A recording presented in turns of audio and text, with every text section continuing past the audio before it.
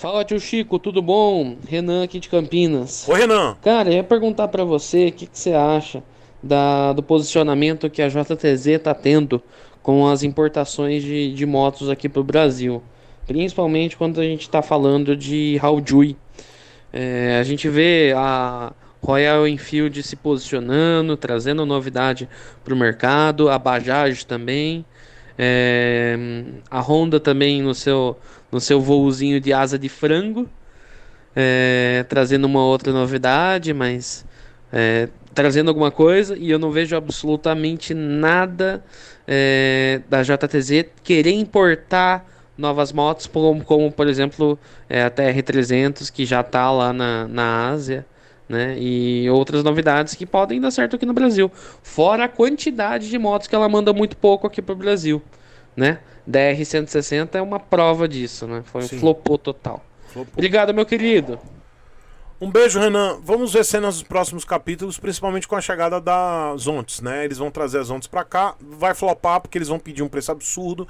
A JTZ não tem lastro, não tem dinheiro. É uma empresa que não tem dinheiro ou não quer é, fazer qualquer tipo de, sei lá, investimento, abrir, sei lá, rodada de investimento, sei lá, o que, que eles podem fazer, o problema deles. É uma empresa familiar da, do- do- dos filhos do João Toledo, com o João Toledo, e é o plano B do João Toledo, da família Toledo, para, no caso, num dia da Suzuki der um pé na bunda e entrar em operação aqui, a JTZ é o plano B deles, assim como as marcas que a JTZ traz. Kinko, que são excelentes marcas, tá? Não tô falando que é ruim, não. As Zontes, Kinko, Zontes futuramente, Kinko, Hauju.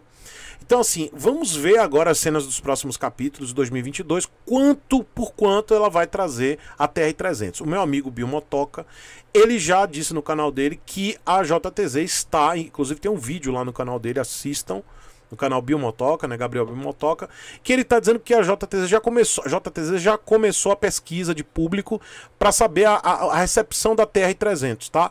Eh, isso é um ponto positivo, mas eu acredito que a JTZ não tem é, cacife para trazer essa moto num preço competitivo, como a Royal consegue. Então, veremos. Tá? Não adianta trazer uma TR-300 custando o preço de uma Interceptor 650 da Royal. Não adianta. Vai flopar. Então, para isso, a JTZ tem que baixar o preço, diminuir o lucro, né? E trazer em quantidade. Para trazer em quantidade, tem que botar dinheiro, tem que ter dinheiro em caixa para poder negociar preço bom lá fora. Vocês entendem? É como se fosse um cara que tem um mercadinho. Como é que ele vai conseguir negociar preço bom para ele comprar não sei quantas toneladas de feijão para vender no mercadinho dele? Se ele comprar muitas toneladas. Se ele comprar pouquinho, ele não tem poder de barganha com o fornecedor. É a mesma coisa, gente. Esses importadores, como a JTZ. Se ele vai trazer poucas motos, sei lá, 100, 200 motos ou menos, ele não tem poder de barganha com o fabricante. O fabricante vai vendendo por um preço alto. Mas se ele trouxer, sei lá, mil, sei lá, duas mil motos, aí a, a- a situação muda. Mas não tem, a JTZ não tem esse cacife. Então, é o que eu vejo. Vai flopar. Vai flopar. Posso queimar a língua? Posso queimar. Mas já dá pra perceber que não vai dar certo com a, a Master Ride. Que é uma, um, grau, um degrau acima da Chopper Road. Que é uma moto com motor excelente, mas fraco. E pesada. Mais pesada do que a Chopper. Os caras estão vendendo a 18 mil reais. Comeram cocô. Comeram bosta. É melhor você botar mais 4 mil reais e pegar uma, uma, uma Meteor 350.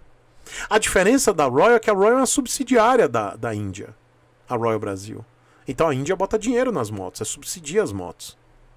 Pra ganhar em cima da do giro das peças, da manutenção em garantia, coisa que a JTZ não tem essa visão. Eles são muito gananciosos, eles querem grana primeiro, e primeiro grana, segundo grana, terceiro grana. Claro que a empresa visa lucro, mas você tem que ter estratégia de negócio, coisa que a JTZ não tem. Tá, eu digo pra vocês tranquilamente que eles não têm estratégia de negócio. Eles, eles só veem o que tá dois palmos na frente. Dinheiro. Tem que ver dinheiro, mas tem que ter uma visão. Você, às vezes você dá um passinho e meio pra trás pra ganhar dinheiro ali na frente. A JTZ não quer isso não.